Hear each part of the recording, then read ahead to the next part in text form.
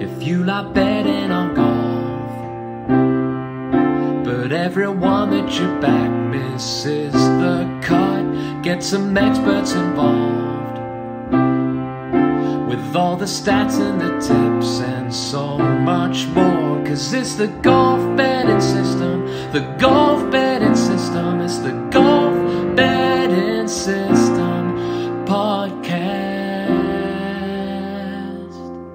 Greetings and welcome to the Golf Betting System Podcast 145. This is our 2021 Sentry Tournament of Champions episode. Paul Williams joins me, Steve Bamford, to discuss the 2021 PGA Tour kickoff in Hawaii. Good morning, PW. How are you? Good morning, Steve, and Happy New Year. Happy New Year to you. Happy New Year to listeners. How did you enjoy the festivities? Yeah, yeah, it was different. Um, Mooted? it's about the only way, the only way you can describe life at the moment, isn't it? But yeah, no, it was nice to spend some time with the um, immediate family. Um, a real shame not to see the extended family, but hey, that's the uh, the world that we live in right now, isn't it? And um, live in hope that things will be better by this time next year. I had one bet over the Christmas period and it Right. lost. And then from that point on, I never backed a horse again for the whole. And I watched a lot of horse racing over Christmas, and I didn't. I was strong. I, I bet I backed Epatante at some ridiculous odds-on price at Kempton, and it lost. so That's that the was end of my that. that was my betting over the Christmas and New Year period. Yeah, it's nice to have a little break from it. I, I have a little dabble with the football um, now and again, but other than that, no. It's um, I did have a little look at Altior when he was um, he she when when when when he was racing, um, but uh, yeah, decided to leave that alone, which was a good move in the end. All of the short odds on horses, apart from Altior and Epatante, won, I think. And I was hovering on the Altior one the day after, and I, for God's sake, Steve, put your phone away. Yeah, So I, I didn't back that one. Anyway, completely uh, off piste. This podcast is for listeners of 18 and above. Please be gamble aware. You can visit begambleaware.org for more information. And of course, please bet responsibly, like I did over Christmas. Visit our world famous golf betting system website with our in depth betting previews, masses of tournament statistics, and our predictor models all available completely free of charge with no paywall. That's all fully up to speed for this Sentry Tournament of Champions. I'll run through uh, my predictor model later on in the pod, my top 10. Please subscribe to this podcast and drive the popularity of the show. Paul is available on Twitter at Golf Betting. I'm available at Bamford Golf. You can join our golf betting system Facebook group. The link avail- is available in the description box. That's up to 5,700 members as we sit here now. Plus, look out for the Steve Bamford Golf YouTube channel where I present the golf betting show every week. We also place this podcast now on YouTube. And I don't know about you, I, I'm, I'm quite an avid podcast listener. Um, I tend to um, listen to quite a few podcasts now on YouTube. yeah, I don't know why. It just I, they just I don't know. It just seems less hassle to me. They they end up on my profile and I ju- and I just play them. If you do listen to this podcast on YouTube, by the way, listeners, it would be fantastic if you could like the show. Um, please take time to rate and review us on Apple Podcasts. That is the podcast currency and drives our listener numbers continually upwards. As ever, for those of you who leave a review, I will read them out at the start of next week's show. Now, we went through quite a few at the end of 2020. I have no reviews. So, listeners, please give us a five star review and I will be reading it out. Uh, leave your name in the review. I'll read out your review for the Sony Open show, which is next week. Right, that's the introduction done. 2021 Sentry Tournament of Champions. I quite, I've, I always quite like this event. yeah. Yeah, I tell you, it's it's great to kick the year off with um, what's always a nice high profile event. It's the time difference which always gets me because you get all excited about the uh, the event starting and then the, the TV coverage doesn't start until like And- ten o'clock um, UK time in the evening. And you can't, yeah, you can't watch any live golf effectively unless you're some kind of nutcase over Yeah. here who clearly hasn't got children.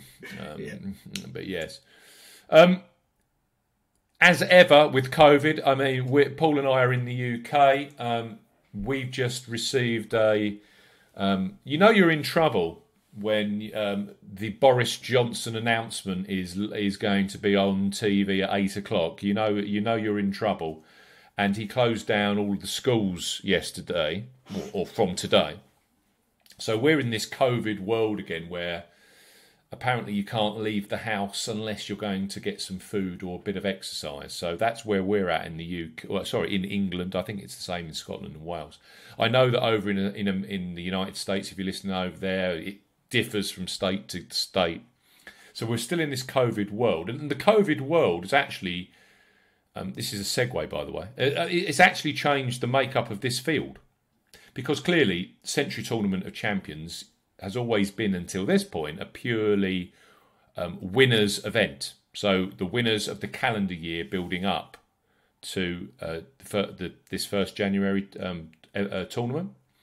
Now, though, because there were less tournaments last year, we have a situation where there were 17 qualifiers for this via the 2020 Tour Championship. So effectively, if you made the top 30 in the FedEx Cup Series playoffs last year.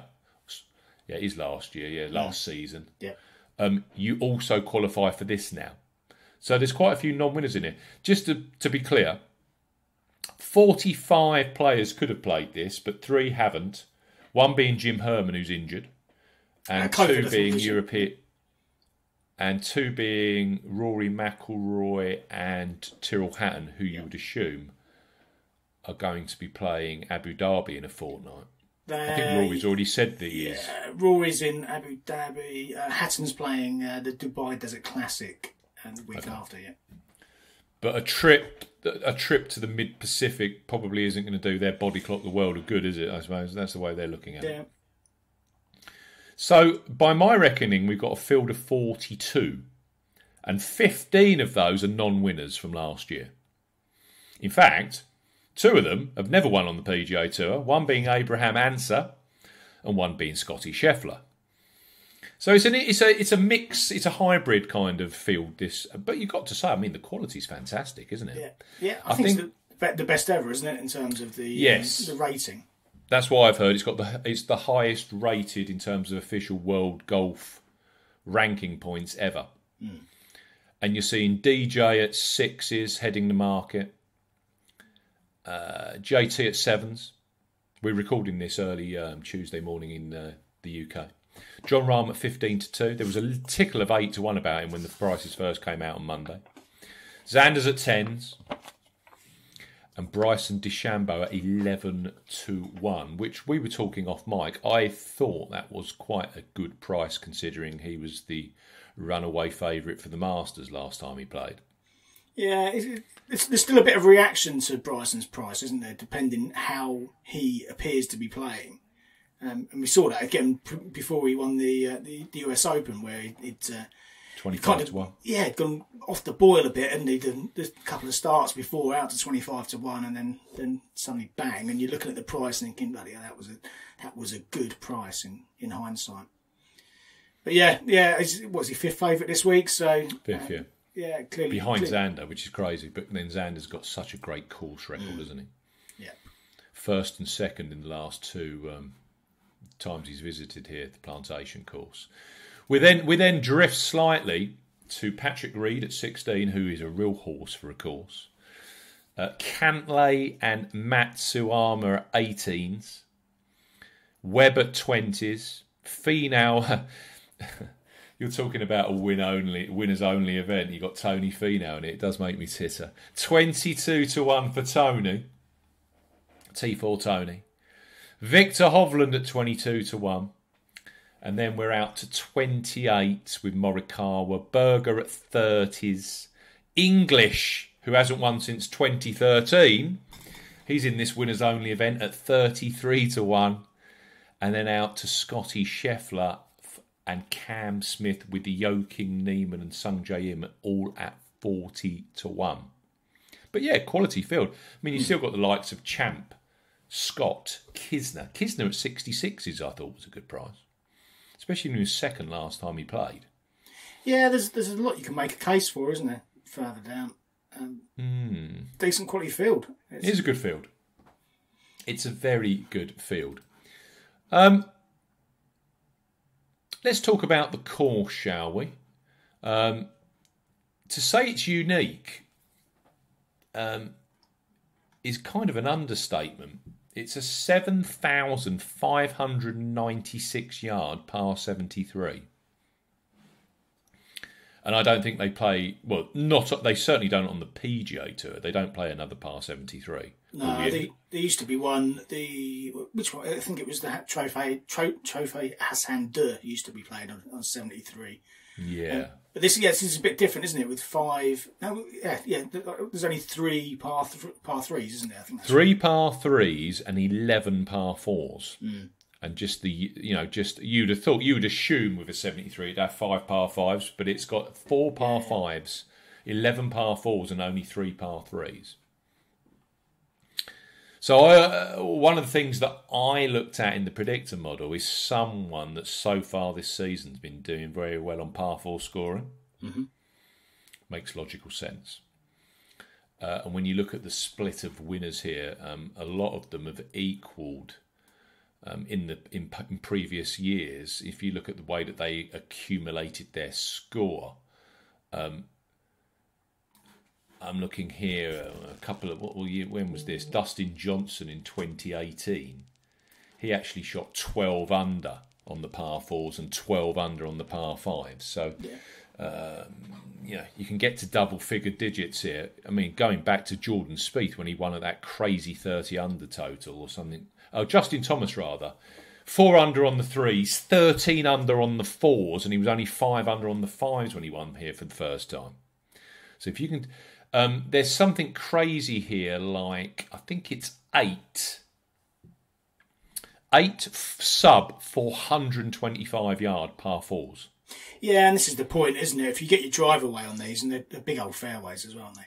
If you get your drive away here, then um, you're just having a, a, a short iron or a wedge into a lot of these greens. And uh, if you get your proximity right, you're going to be scoring a lot of uh, scoring well. You're going to be making a lot of birdies. Now, the course itself, it's a Coore and Crenshaw 1991 original.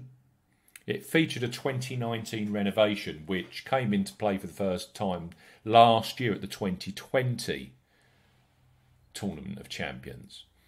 And when you read through the detail, um, Bill Coore said uh, that he wanted the course to play firmer and faster ongoing because when you had Spieth taking it apart 30 under, you actually go back to early night, you know, um, go back to when this was held here the first few years. Scores were quite tough. You know, 11, 12, 13 under was winning. And then over the years, as the course deteriorated, the wind, the amount of wind that the course receives uh, subsided. Scoring got to that crazy 30 under total with Spieth.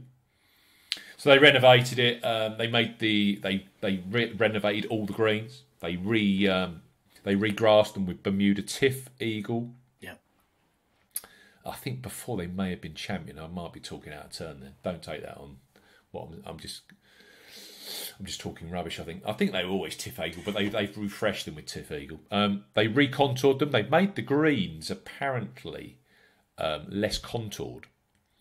Uh, they've made them bigger. They are massive. I mean, you're talking about wide fairways, which they are. They're over 60 yards wide on average. Uh, a normal PGA Tour course, you're looking at 28 30. US Open, you were looking at 20 to 18 to 22 yards. For, uh, uh, yeah. And now we're talking 60. So again, uh, you know, if you're just looking at a picture here of a of a player, I mean, the fact that Patrick Reed excels around here, you know, he's one of the most inaccurate drivers you'll ever find. I mean, I remember him at the DP World Tour Championship that middle, um, was it the second week of December? And his driving was absolutely shocking. Every time I watched him drive the ball, it was in the rough or it was just nowhere near. No. His short game though. And his short game, I think he, he made it was like eight strokes gained total with his uh, with his chipping and Yeah. around the green game. It was just like Houdini that week. He was absolutely incredible around the greens. And Yeah, you if can see why he does well here because actually, even someone as inaccurate as Reed will be hitting 65 to 70% of fairways. And he can bang the ball at long distance. And when you've got hands like he's got in terms of 80, 90, 100 yards and in, you can make scores, mm. especially on these par fours that are short. To me, I remember when Zach Johnson won here, I always had this completely, completely 100% focused on bombers. Oh, bombers win here. Has to be a bomber. But actually, you go through the winners list in the past. Um, Geoff Ogilvy was, wasn't exactly a bomber, was he? And he won here twice on the trot. Jonathan Byrd, you had Stevie Stricker, uh, Jordan Spieth, we've had Reed win here, and we've had Zach Johnson. You haven't got to be a bomber. Some fantastic just- putters in there as well, isn't there? Ah, yeah. I, for me, it's about great wedge game. Someone also that can take advantage with long, especially on the par fives. If you've got a fantastic long iron game, I think that's a real advantage around here. Um, and also, this course doesn't exactly play to the yards as well because it's a coastal course. There's there's a hell of a lot of undulation and blind shots here, blind tee shots, shots that professionals don't face week in week out. A lot of undulation, both up and down. They say it's the hardest walk for caddies of the whole year. Um, you know, it's kind of comparable, if not worse, than Augusta National in terms of the elevation changes. Yeah. So you get blind shots, blind drives. Um, and you also can get some serious wind here. And of course, you know, I love it this time of year when you start talking about the trade winds or the Kona winds. Um, it's trade winds again. This golf course is set for trade winds, which are from the northeast and the east. tends to make the course play shorter. And from what I'm seeing, the trade winds this year aren't anywhere near as strong as last year. So when you look at that winning score last year, it it it, it collapsed from Xander 23 under in 2019 with JT, Patrick Reed, and Xander all making a playoff at 14 under last year. And when you read player interviews and you can remember the recaps from the rounds, mm, a lot of the trouble clearly was that it was blowing 30 to 40 miles an hour for a couple of uh, for three days. And also, JT said in one of his interviews when they were putting pins at the front of greens, because these greens were brand new and totally and utterly unreceptive, you just couldn't get the ball anywhere near. No, no, no. Uh, you- You're going way past it. You were going way past it, or you were trying to just uh, almost, you know, a bit of standard um, linksy type golf where you're trying to get the ball just to chase up. Yeah. Yeah, interesting to see how they've changed. You know, 'cause it- it- a year further down the line, they should have bedded in a bit. They should should, be a bit more receptive, shouldn't they? Often you get with these brand new greens, they are really bumpy and firm, aren't they? So, yeah, 12 months down the line, perhaps a little bit of respite. Now I'm looking at the wind forecast for Thursday right now on the uh, on the laptop in front of me, and they're looking as if we are um, we're going to be seeing 15 to 20 on Thursday. We're going to be seeing 15 to 20 on Sunday, which for round here isn't that strong. And Friday and Saturday, it's literally tranquility city. So I think this is going to be far lower scoring this year. Yeah, As you said, you you would assume that the Greens have bedded in 12 months. They've had plenty of foot traffic now. They'll be softer. Um, and when you're seeing that kind of wind forecast for the Friday and Saturday, I think they can be taking this golf course apart. 20, I, I wouldn't be surprised if that Xander kind of totals in play. Yeah, yeah, yeah, yeah. 23, 24 under. It, feel, it feels like a, particularly for you know, past 73, it feels like it's uh, it's going to be in excess of 20 under, doesn't it? Given that forecast. 8,700 square feet greens with that TifEagle Bermuda grass. And you mentioned a while ago, you know, JT can be a phenomenal putter. He's won here twice. Dustin Johnson's won here twice. When he's on his game, again, another fantastic putter. Zach Johnson, one of the best of all time with the flat stick. Jordan Spieth, well, you don't need to. Uh, when Jordan was in his pomp, you know, he, he 30, 30 foot putts were going in with crazy regularity, and even Xander, Xander can be a, a, a mighty good putter. You don't and Patrick Reed, you don't tend to see complete and utter um, Jason Kokraks like winning this in terms of their putting ability. Mm. Or dare I say, who should I who should I put in there in terms of bad putters? Um, I'm just trying. I mean, to me, someone like a uh, Collin Morikawa, where putting's the weak point of his game. I would have said Adam Scott once upon a time, but I look at Adam Scott's putting stats recently, and he's been putting incredibly well from what I can see. He actually headed up headed up my eight week putting average stat. Yeah, yeah, yeah. It's, uh, he, he, popped in a few of the numbers I looked at, and uh, yeah, again, that was another one of them. Is uh, he's clearly uh, clearly doing something right with his putting. Um, got a new putter as well. I saw on Twitter yesterday that he's taking on into the tournament this week. So interesting to see how he goes on that. He's got a new putter, and the other thing that I noticed of significant for me um, importance was the fact that Jon Rahm switched from TaylorMade to Callaway. Mm. And at this time of year, I'm I'm I hate golfers that have changed equipment manufacturer. Yeah, it's a difficult one to assess, isn't it? Yeah. If you, I mean, and this is what I, I said in my betting preview, which is clearly detailed and available at Golf Betting System for all listeners. Um, if you're trying to split hairs with that top five, arguably the top five in the in the world at the moment, um, you've got to take something like that and say, well, actually, that's the reason I wouldn't back Rahm. Because mm. statistically, you won't get rid of him because his no. statistics are always fantastic. But yes, clearly he will have been practicing with those Callaway clubs for a length of time. Um, but yes, it's a it's a good enough reason for me not to like him in that at that kind of fifteen to two price point. Mm. So we reckon the weather's going to be more favourable for the players. Um, 24 degrees pretty much throughout, so a nice, comfortable um, 24 degrees Celsius. I'm just looking at uh, key key trends uh, from from a skill set perspective. So what I do, I've taken 2010 through 2020, the winners here, and I look at their traditional stats and their uh, for that period of time, just see where the, each winner ranked in the various different um, skill sets of the game. So, averaging it out, Ogilvy through to JT last year, driving distance 12th. Bearing in mind, this field is usually what 30 players. Yeah. So 12th would be upper third, but not you know not you know it's not pure bombers. Driving accuracy 17th, Greens in reg 9th, proximity to hole 10th, scrambling 8th, which is quite high, and putting average 3rd. Yeah. So never, you know, inevitably, especially with these tournaments where it tends to be a scenario where you've got to shoot 23, 24 under. It's all about converting those chances, isn't it? Mm-hmm. I think one of the really interesting stats for here, though, is though that year in year out, this course the plantation course at Kapalua, traditionally ranks inside the top 10 most difficult courses in terms of proximity to hole every year. Yeah, do you think that's a factor of the size of the greens? The size of the greens, I think the contour, the, the, they were quite severely contoured yeah, greens were, as well. Yeah, yeah.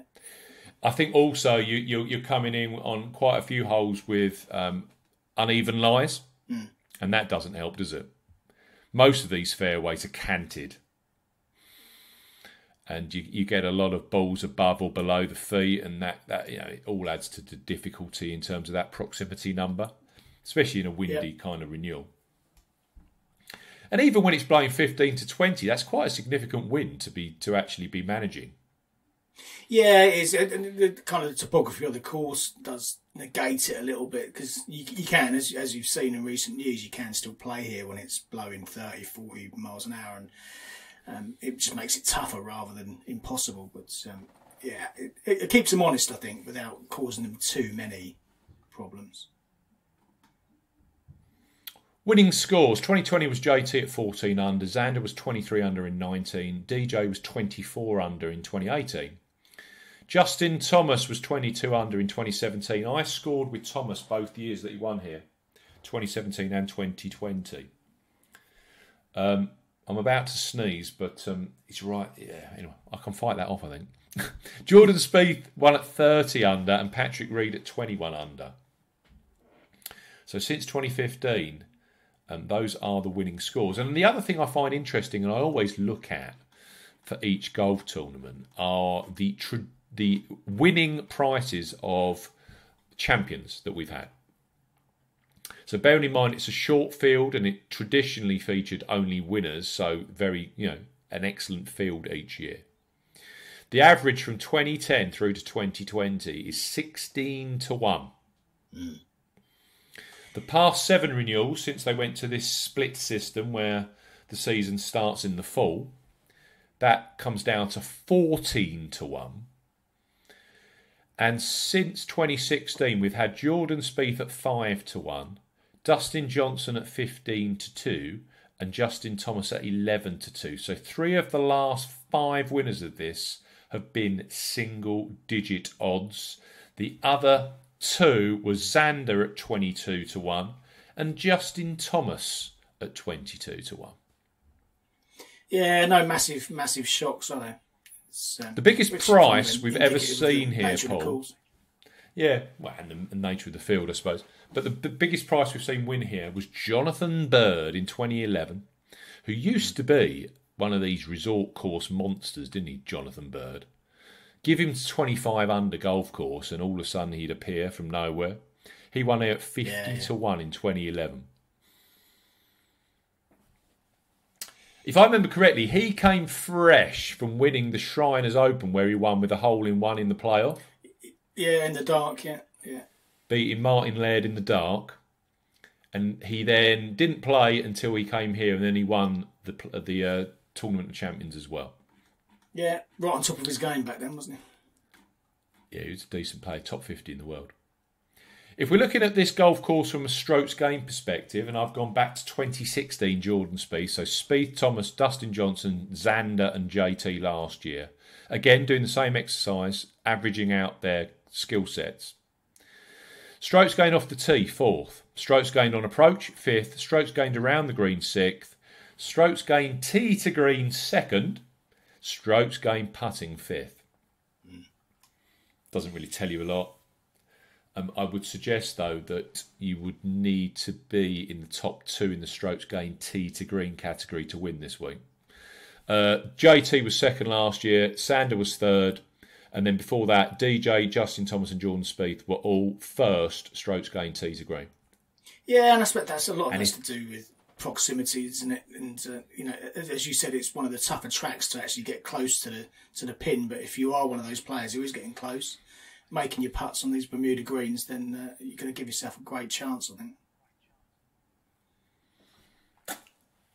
Yes, he was stroke thirteenth for strokes gained putting last year. JT.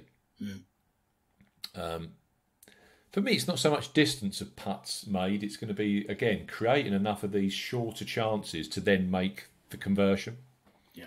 Um, I think three putting around here on greens at an eight thousand seven hundred feet. Again, you've it, it does kind of lead you to decent putters, even if it's a situation where natural born putters that can make a 60 feet lag putt up a quite a severe contour against the grain on TifEagle. There's a lot of different parts that go into the equation of putting around here. Yeah. There's grain, there's uphill, there's downhill. There's the fact that, you know, do you take into account the break towards the sea or don't you? Is it a straight putt? There's a lot of complexity on these greens. And of course, you can get 15 to 20 mile an hour winds blowing at you across those greens this week as well, and at least two of the days. So I, I don't think, for me, it's a pure a 100% ball strikers course with someone that can't putt. I, I, think you've got to have some kind of natural ability with the flat stick eventually. Yeah. I think I've witted on more than enough actually. Um, who would you take from the top five? Not um, that you're a win only. Not that you're no, a win only backer. You know, I, I, know. I, I, haven't backed one in the top five. Um, I may. I may do. You've almost convinced me on one, but I'll leave them to you. Um, my knee jerk reaction was Xander. Um, you know, you look through his last his last one of the tour was here, wasn't it, back in 2019, and yeah. it's come very close since. Although I guess you could, you know, you could virtually class that tour championship effort where he was the best score of the week um, as a win, although it didn't it obviously doesn't count um, as a traditional win in that sense. But but he's been putting really well. I mean, you, you look at his stats; he's been putting really well. He's been hitting greens, scrambling well. Got fantastic record here. Um, I was all ready to pull the trigger, and then you find that he's um, just recovering from COVID. Um, he's been That's interesting. I didn't know that. Yeah, he's Good insight, Paul. Like it. Yeah, it, and I, I hadn't noticed until a day or two, um, you know, before. I, I, well, you know, over the back end of the weekend uh, uh, yesterday, Yeah, I didn't spot that one.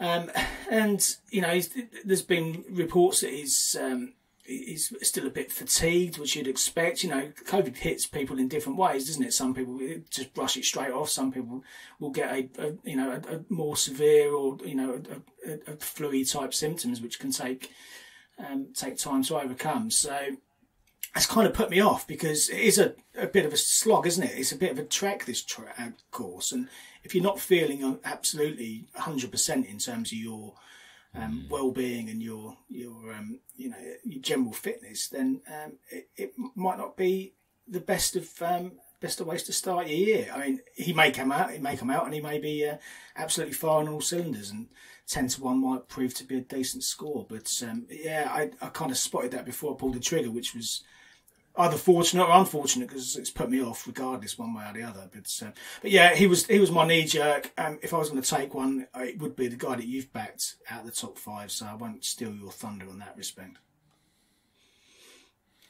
I was quite pleased with the price I got on him, to be honest, because he won here last year at eleven to two. Um, and I was expecting a similar kind of price. Uh, the first, the first um, show on the board was Bet three six five. They were eleven to two. I think William Hill came in at eleven to two. Or was it no? Sorry, thirteen to two, wasn't it? They came in at, and then all of a sudden Unibet popped up at fifteen to two. And I, I'd made my mind up. I'd made my mind up over Christmas. I was going to put him up. In fact, I, I made my mind up on all three before Christmas.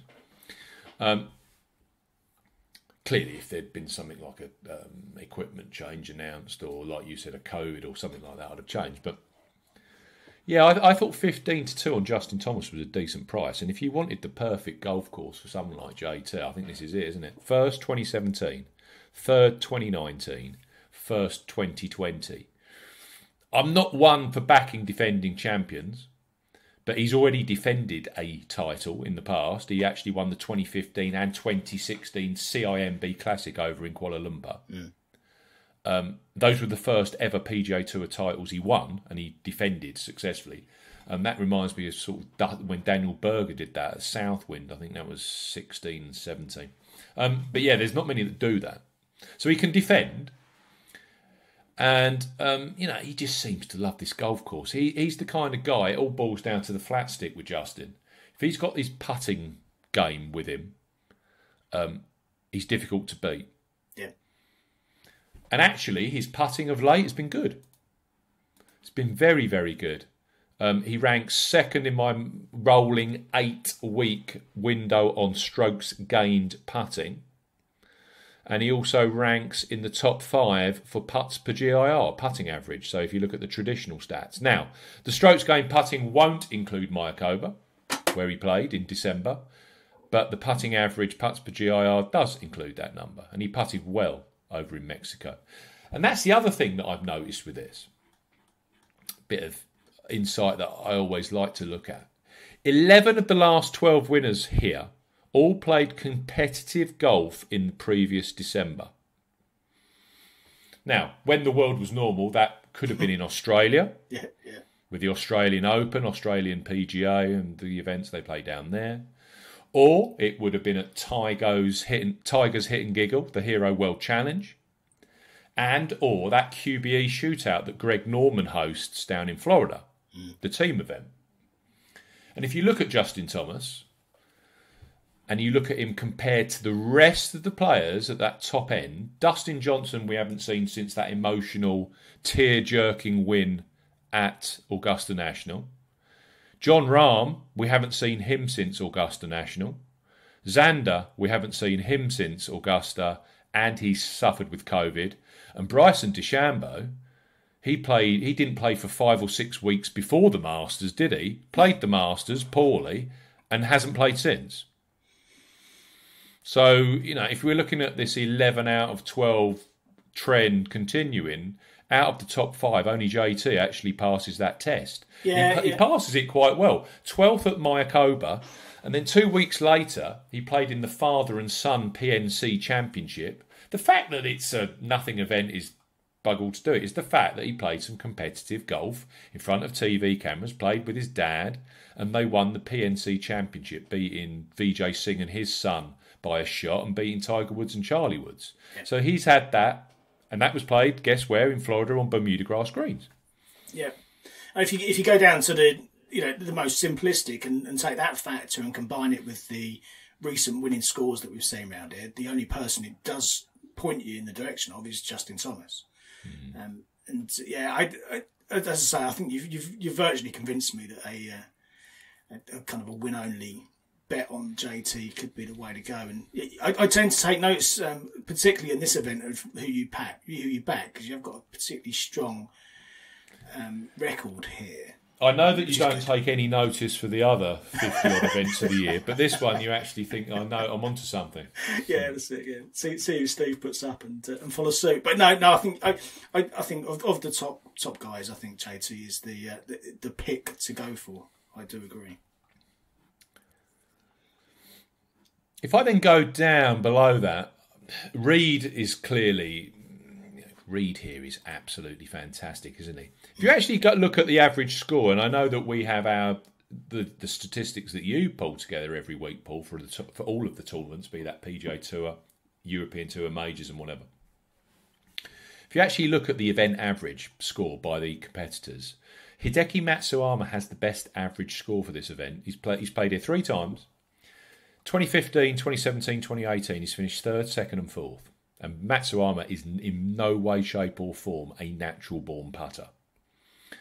He hasn't won here though, but it does show you that tee to green excellence and a, a guy that can hit the ball very well and has a great all round game because we know with Matsuyama, you know, the approach the and the scrambling is always top notch. He's an elite level player. That can get you close to winning this event. I mean, we've had the likes of Gary Woodland again. Woodland isn't, you know, you look at Woodland, he's a tee to green guy, isn't he? He's not a natural putter over the course of his career. I know that his putting's better now than the tee to green side, but if you look at over look at him over five years, Woodland is tee to green and not a putter. So you can get close here, but you, in, in, I think ultimately you've got to be a good putter. Uh, Streb next, sixty nine. Um, he's only played here once. He finished eighth. Then you get Laird, DJ. He's played here ten times. Course average sixty nine point two one. Webb Simpson, fourth, 69.47. And then you get Patrick Reed at 69.5. He's finished first, second, sixth, and second here in six outings. Yeah, I just can't back Patrick Reed at 16 to 1. Just cannot do it. It- it's, a, it's a difficult one. I'll, I'll talk about Reed now because I have backed him. He's the he's the one player towards the top that I've backed. Um, Yeah. And the reason for that, I, I, I agree on the price point because um, we tend to look at uh, Reed when he's a bit further out in the betting, you know, kind of 40, 50 to 1 in the full field. This isn't a full field, it's a shorter field. Yeah. He's inevitably going to be a shorter price. Um, what got me is you mentioned um, in your preview, and we've talked about it quite a bit here, um, that putting and scrambling can tend to be the deciding factor here. And there are a few in the world who are scrambling better than Patrick Reed at the moment. I mean, if anyone watched those, um, the performance you alluded to earlier at the Dubai um, DP World Tour Championship, then he was absolutely incredible around the Earth course. He was, you know, getting up and down from absolutely everywhere. And to be fair, he's been putting and scrambling incredibly well for a few months now. Um, going back to the Tour Championship at East Lake, he was uh, first for scrambling there, first for putting at the US Open. Played well again um, around the greens at Wentworth. Um, tenth at the Masters overall, and he was second for putting there. So clearly, there's been a trend that his short game's been particularly strong. And then, of course, he went to the Earth course, finished third there in December, so that kind of ticks the December box as well. Um, where his short game was outstanding. Um, record is fantastic. Um, Yeah. you know, I, of the players that were just outside those top five, he was the one that caught my eye. And as I say, sixteen to one is, um, yeah, I, I, I'll, I'll take that. It's an each way punt for me, um, and to see if he can get himself into those paying positions. over 12 weeks, which are our form line, yeah, there's only Dustin Johnson with better form. And you've got DJ at sixes and then Reed at 16s. Next up is JT with 7 to 1, Rahm at 15 to 2. So, yes, in the top four for current form, and he's a 16 to 1, the biggest price of those four. So it makes logical sense, doesn't it, with such a great course record? Yeah, yeah, yeah, yeah. Good enough for me. I just can't. I actually, I loved, I, I so loved Patrick Reed at the um, US Open. I just, and then he got right into the top of the leaderboard, and I just thought to myself, Patrick Reed just doesn't go away when he's in contention. And then that fuck, oh, I almost swore. that Saturday came along, and I could not believe it. It was back in the day where you could actually go to the pub. And me and the missus and some of our two of our friends, we'd gone out for a, a meal, and we got into my local vi- we got into my local village pub around the corner from where we live walked in there and the guy's got sky on the landlord and the golf was on and i kind of didn't look because it was it was and then i did look at the screen and every time i looked at the screen he was making a bogey hmm. it was breaking my heart as i was getting more and more inebriated just to soften the blow. I couldn't believe it, mate. I think when I walked in there, it was still like in second or third spot.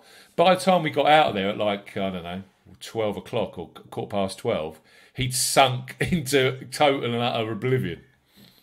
Just could not believe it. But yeah, Reed's a good shout. He's obvious, but he's good. Yeah, yeah. Personally, at the price point, I would take Patrick Reed over Hideki Matsuyama. Yeah, no, th- At least think- with Reed, you know that he can he can convert. He's a he's a no. Matsuyama hasn't won since 2017, and we're getting him at 18 to one. been a while. Bermuda Green's not his strongest of suits either, is it? So, yeah, I'd be I'd be Reed over Matsuyama.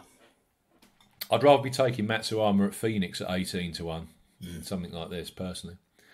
Um, if we're looking at this form angle as well, so 12 weeks going back, current form. This particular individual has got 24th, 11th, 4th, 2nd, and 8th in his last five outings.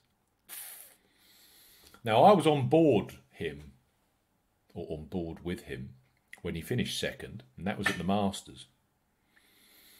Yeah, and he then played the um, Shark Shootout, as I know it, the QBE Shootout. He played it with Mark Leishman in December. They finished eighth. That's immaterial.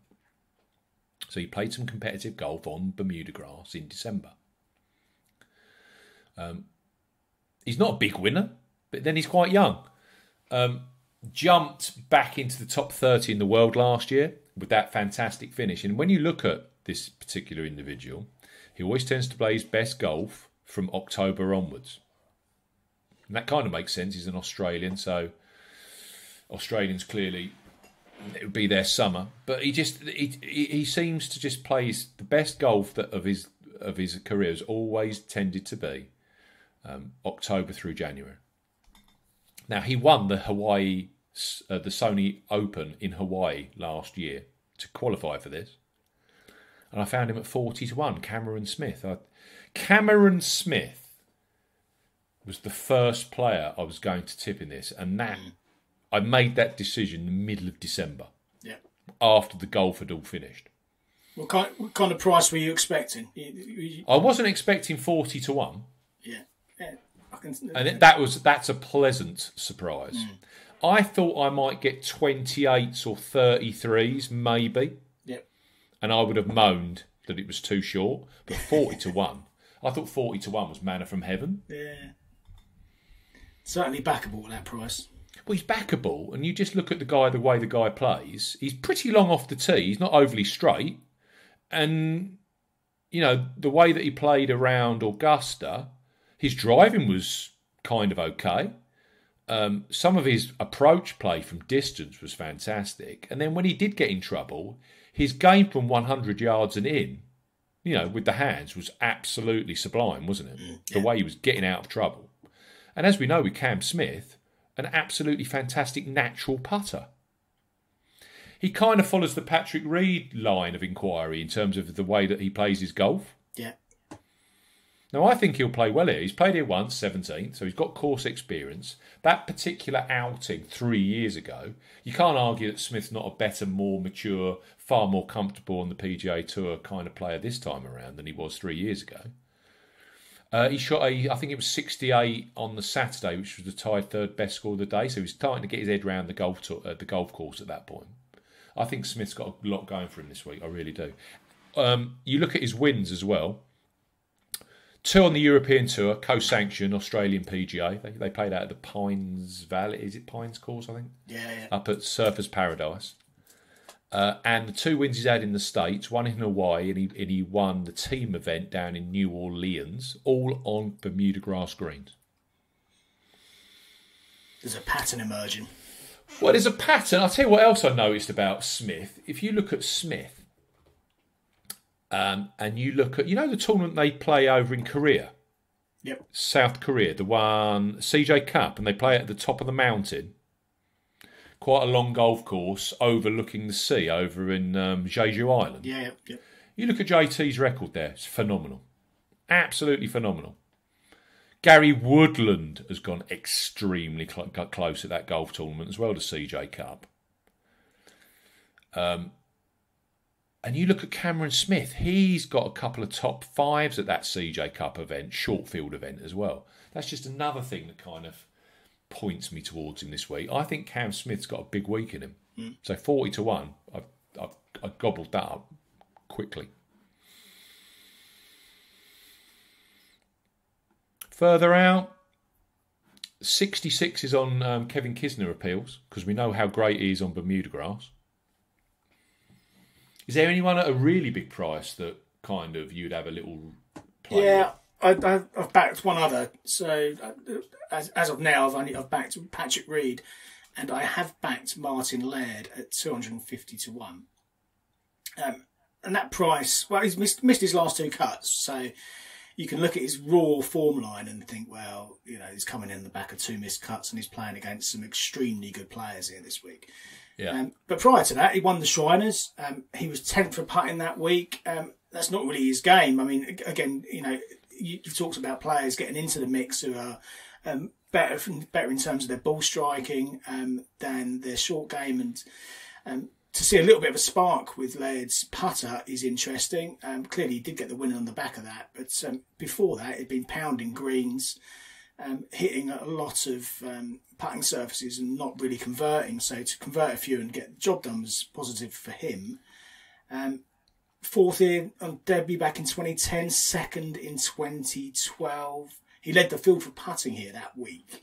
So he's clearly got on with the old surfaces here in the past. Clearly changed a little bit since, but um, likes the track. Um, he talks about um, how he likes taking a driver. That's his default club, um, and this this particular course forces you to take a lot of drivers. Good in the wind. I mean, it's not going to be particularly windy this this week, but there were a couple of days where it's going to get up a bit, and uh, that's um, clearly going to play to his strengths a little bit as well. And um, I think he likes what he likes, doesn't he? He's, He is led. I was just, that's exactly what I was going to say. He's a real horse for a course, isn't he? I mean, that Shriners victory. Yeah, a couple of wins there. He got, um, and again, he, he was in that playoff that uh, Jonathan Byrd won as well, wasn't he? So Yeah. he's come very close a few times, or, or won a couple of times at the Shriners. Um, Mm. Two top fours from three starts here. So um, for 250 to one, um, with a win under his belt in his last three starts, I was quite happy to take on as a an each way long shot punt. He's another resort course specialist, isn't he? Where, you know, 23, 25 under win. That's the kind of course Laird pops up on. when he gets a, little bit of form and a little bit of a spark with that putter, then uh, it starts making some birdies. Yeah, um, yeah, we'll see. We'll see how it goes. But short field, um, you get in six places. I've got six places each way, a fifth of the odds, and for that two hundred and fifty to one, and a field of just forty-two players. So there's, um, you know, there's there's a fair proportion there, a fair fair ratio that you're going to get a uh, get, get an each way return out of it. So yeah, quite happy to take that.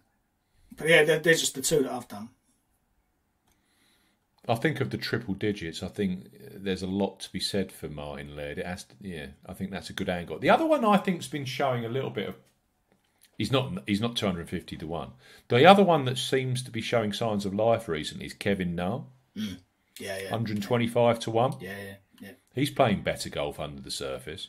Yeah, he did well in If this had bent grass, if this had bent grass greens, I'd be all over Na like a rash. He never won on Bermuda, but he he can play Bermuda in terms of uh, fairways and rough and whatever. That's not a problem. Um, and we know with Na, he he can he can he can top five in this, no problem at all. Yeah, and I've got to say his name did pop up on something. Again, if you're looking for a comparable, you know, top, you, you look at someone like if, if, if a Steve Stricker's won on a track, then you're looking and thinking, well, can I pick out a player who, who can putt well? And uh, yeah, Na's a funny player, isn't he? You know, on any given week, any aspect of his game can be outstanding. But um, when he's Oh, he's got a he's got a huge ceiling and a very low floor, isn't he? He's, he's one of those, and- and that's from a DraftKings perspective. It depends how you play your DraftKings. If you can look for value, value players sometimes, Mm. Kevin Na will either kill you or it will it, it can lead to big big returns on DraftKings. Well, this it's is it, clearly yeah. the same with betting. yeah, But there's something percolating there with Na. 12th these last uh, one of the visits he's had here in 2012. The other really obvious pick that I had to go for towards the top end of the market was just Viktor Hovland. yeah, Until I really dug into the research on Hovland, um, I didn't realise just what kind of what he's been doing and the gravity of it.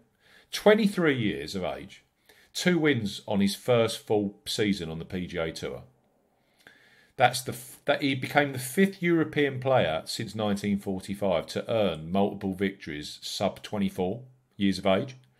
That list includes Rory McIlroy, Sergio Garcia, Jon Rahm, and Seve Ballesteros. That is some company, isn't it? yes. That's a, a decent, uh, decent list of names to be alongside. He's now 14th in the world. And I just think this format is going to play so much to his strengths. Mm.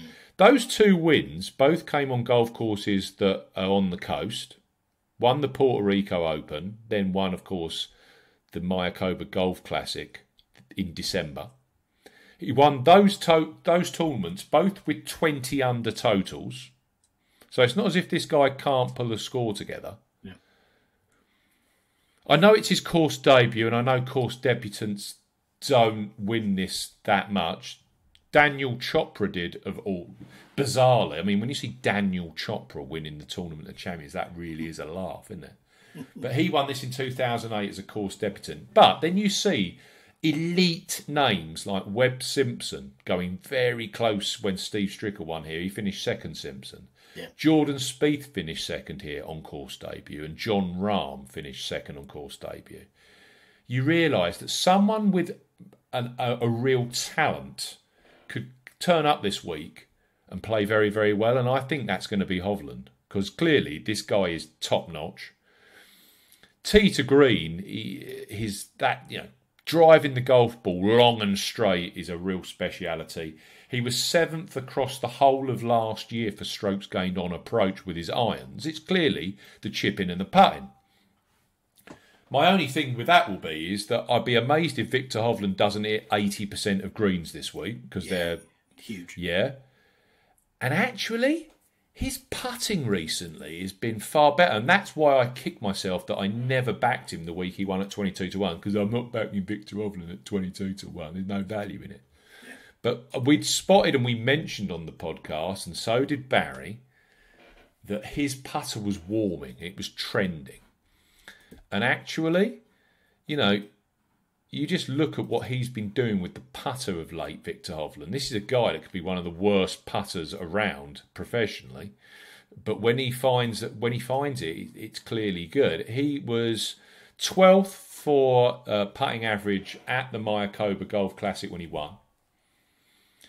Uh, he was, t- I, I think, if you take people that made the cut, he was tenth for putts per GIR, and then um, last time out at the Earth course, which was the week after Mayakoba, so he flew from Mexico to Dubai, all the trouble with the travel and whatever.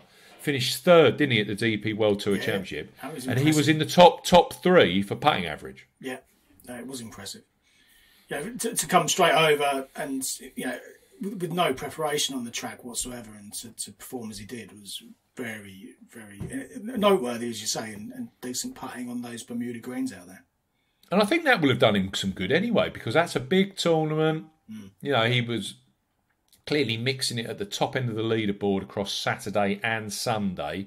That would have been a, a kind of pressure that he's not been used to in the past, you know, in a, in a high grade event like that. Yeah. And he came out with a, with a very strong third place finish, what, two shots back from Westwood.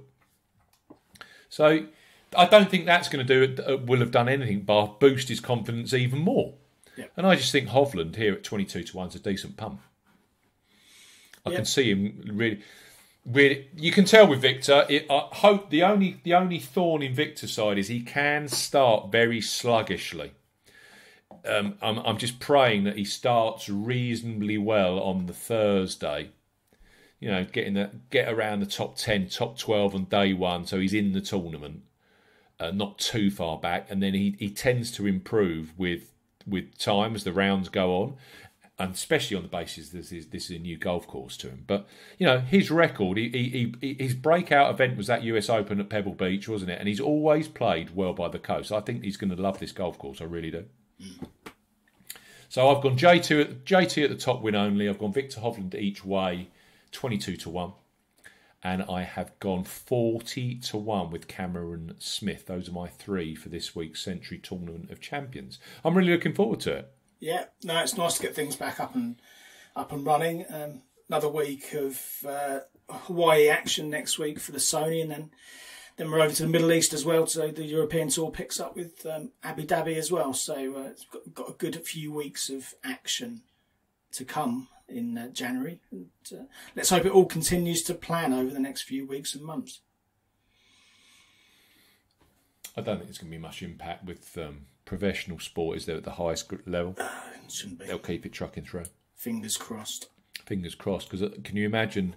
Can you imagine being locked in your house with no sports watch? Oh, oh, I, oh! I do remember. It, it was back in March and April, wasn't it, last year? Yeah.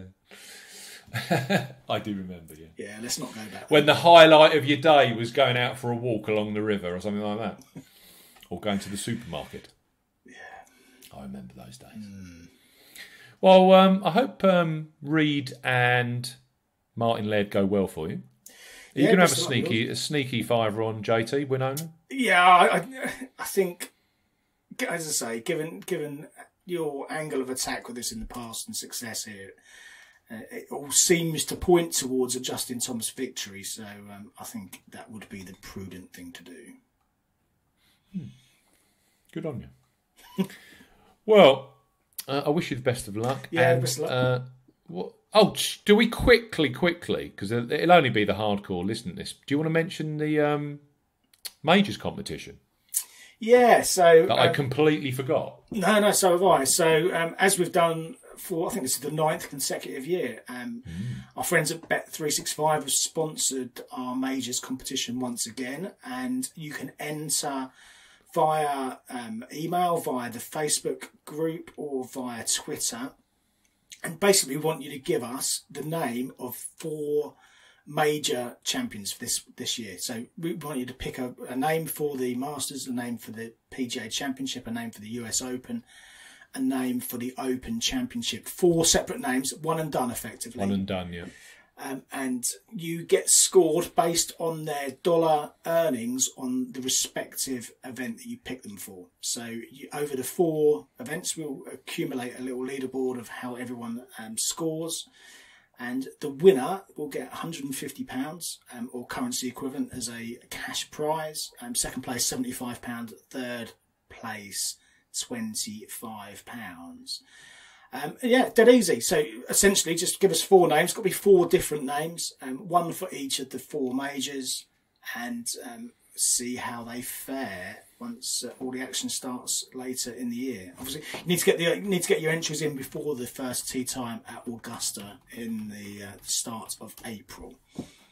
Um, so there's plenty of time to enter. Um, we'll put further details on the um, uh, website. There are further details on the website. We'll put a link to that on the uh, on the podcast description here, so you can We will. find find your way over and um, get your entries in.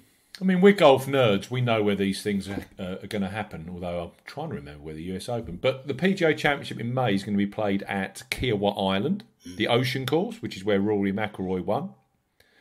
Uh, he won the PGA Championship there the last time they played there. US Open is going to be played at Torrey Pines. Wow, a US Open at Torrey Pines. That is going to be wowzers. That's a long old golf course, isn't it? 7,600 yards with like five inch rough. What price Tiger, eh? What, pl- what price Bryson DeChambeau? And then, of course, the Open Championship is going to be played, and we need to start to thinking about booking train tickets and the like. Royal St George's Golf Club in Sandwich, Kent. Yeah, the one that was. Uh, Let's postponed from last pray. Paul, that we can get out of the house in mid July and go and watch some golf, even if we have to go in some kind of breathing apparatus. Oh, yeah, yes. Let- let- uh, six months down the line, Steve, we've got to be able to go and watch a golf tournament like that. They've already cancelled it once, and I, I doubt if they got uh, pandemic insurance this time around at the think same pri- premium. Yeah, I think the premium may have uh, been bumped up a little bit for this year. I agree to meet Neil Fay, who's on our Facebook group. I agree. I know he listens to the pod on occasions. I've agreed that we're going to meet him at the bar behind. Is it the fifth green or the eighth green? I know that we spent far too long there last time we went. we're going to have a few beers there, apparently. Yeah, why not?